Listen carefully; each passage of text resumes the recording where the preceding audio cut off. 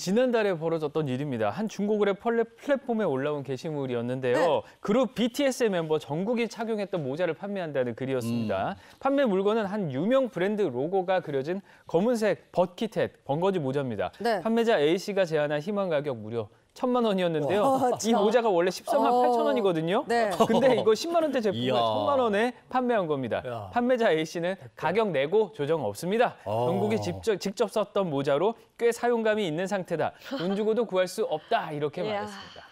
BTS 정국 씨가 쓴 모자를 주었는데 그걸 중고 거래 사이트에 천만 원에 팔, 팔겠다 내놨다. 이건 누군가 장난친 거죠. 근데 이제 정국이 네. 비슷한 시기에 모자를 썼던 사진은 올라왔다고 해요. 그래요? 어, 그 사진이 직접 올라와 있고요. 또 A 씨는 해당 모자의 소유권이 이제 자기에게 있다 이렇게 음. 주장을 했는데요. 지난해 9월에 모자를 습득을 했거든요.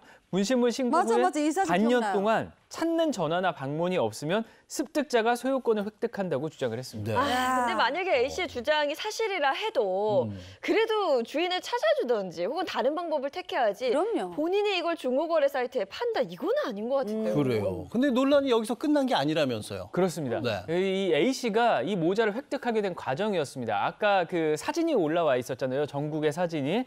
근데 A 씨가 지난해 9월에 BTS가 외교관 여권을 만들기 위해서 외교부 여권과에 극비 방문을 했고 어, 또 네. 모자는 당시 대기 공간에 두고 간 분실물이었다 이렇게 아하. 주장을 했거든요. 어. 그리고 그 분실물을 획득할 수 있었던 게 자기가 외교부 직원이었기 때문이라고 아. 이야기를 했습니다. 그러면서 뭐 공무원증 올려서 그 사실을 인정하기도 했는데요.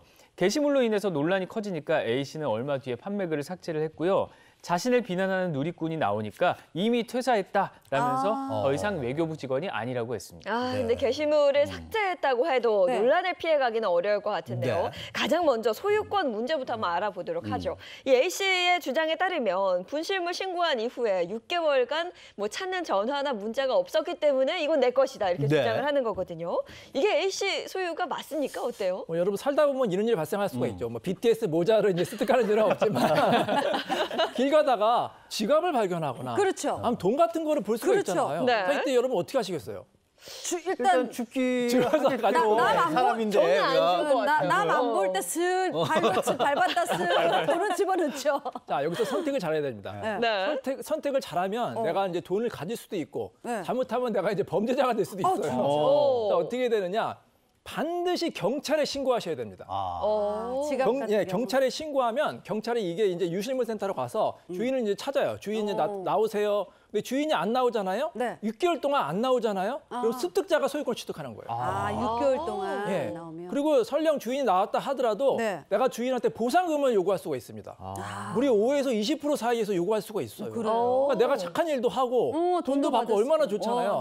근데 만약에 그거를 신고를 안 하고 내가 그냥 가졌다? 그럼 점유유탐으로 행렬자가 될 수가 있어요. 어. 그렇기 때문에 반드시 어떤 물건을 이제 봤을 때는 경찰에 빨리 신고하시기 바랍니다. 음. 그래. 네. 경찰에 신고하지 않고 그러면 모자를 그냥 가지고 있었다 이렇게 네. 치면 이건 좀 문제가 되는 것 같은데 그렇죠? 음. 그러면 만약에 A 씨가 모자를 이렇게 적법하게 취득한 게 아니었단 말이죠. 근데 이걸 다른 누군가가 사게 되는 거예요. 네. 어, 이런 경우는 어, 어떻게 되는 거예요? 그러니까 누, 누군가 저 모자를 천만 원 주고 샀어요. 어, 어, 야 진짜. 어, 궁금하다. 어. 그거를 그냥 무효라고 하면 얼마나 억울하겠습니까? 맞아요. 자, 그래서 우리 민법에는 어떤 규정 이 있냐면 선의 취득이라는 규정이 있어요. 아. 그래서 어떤 물건이라 하더라도 내가 그 물건을 적법하게 습득을 했고 그다음에 이제 내가 아무런 과실이 없을 경우에는 소유권을 적법하게 취득하는데 다만 선의 취득에도 예외 규정이 있습니다. 음. 그 물건이 도난품이거나 분실물인 걸 알고서 샀으면 그게 또 적용이 안 돼요. 맞아. 그렇기 때문에 우리가 이제 중고거래 마켓에서 어떤 아주 아주 그, 그 비싼 물건 아주 싼 값에 이제 가끔 파는 경우 있잖아요. 맞아요. 그 경우에 의심을 해봐야 돼요.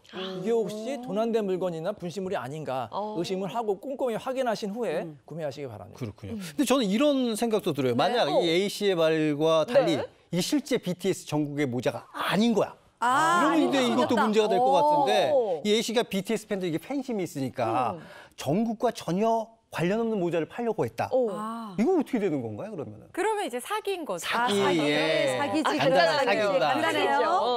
우리가 말하는 중고거래 사기가 되는데 그런데 이 중고거래 사기 문제가 많은 게요. 개인 간에 이루어지는 경우가 많고 온라인으로 이루어지는 경우가 많아서 이 사기꾼을 잡는 게 굉장히 어렵습니다. 네. 그리고 잡았다고 하더라도 자기가 처벌은 받겠는데 배상해줄 돈이 없다 이렇게 그렇죠. 나오면 결국에는 피해를 배상받는 게 굉장히 어려워요. 그런데 그렇게 배상을 안 해주겠다고 하면 소송 절차로 가야 되는데 피해액이 소액인 경우가 많거든요.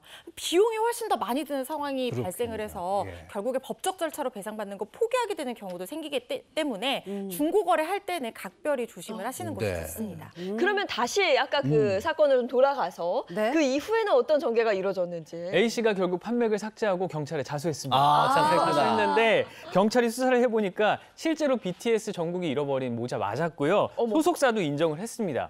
어, 서울 서초경찰서가 지난 15일에 이 외교부 직원 A 씨, 전 직원 A 씨를 횡령 혐의로 어, 거- 검찰에 불구속 송치를 했습니다. 네. 어, 비- 진짜 BTS 정국 씨 모자가 맞는데 근데 왜 횡령 혐의를 받는 건지 이거 궁금한데요? 일단 네. 그 경찰이 모자부를 외, 모자를 외교부에 둔 게 확실을 확실했다. 그래서 아. 점유 이탈물 횡령 혐의를 적용하기가 좀 어렵다고 봤고요. 네. 또이 A 씨가 외교부 직원이긴 하지만 계약직 직원이었고 또 유실물 보관이 주 업무가 아니었습니다. 아. 그래서 업무상 횡령이 아닌 개인 횡령 혐의를 적용을 했습니다. 아, 개인 또 A 씨가 자수하면서 경찰에 제출한 전국의 모자는 검찰에 보내졌다고 합니다. 아이고. 아무튼